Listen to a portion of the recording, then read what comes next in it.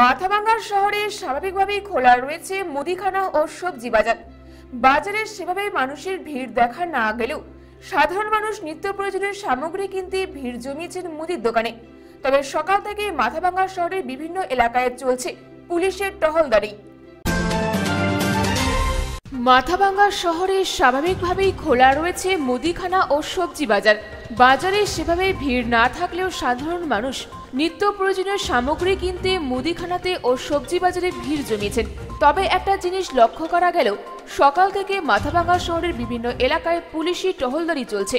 করোনার সচেতনতাকে উপেক্ষা করতে রাস্তাতে ও দোকানে ভিড় দেখা গেল সাধারণ মানুষের। টানা একুশ দিন লকডাউন তাই সামগ্রী ঘরে মজুত করে রাখার তাগিদে মানুষ ভিড় জমাচ্ছেন দোকানে দোকানে। তবে কেনাকাটার ক্ষেত্রে দূরত্ব বজায় রেখে সামগ্রী কিনছেন না ক্রেতারা।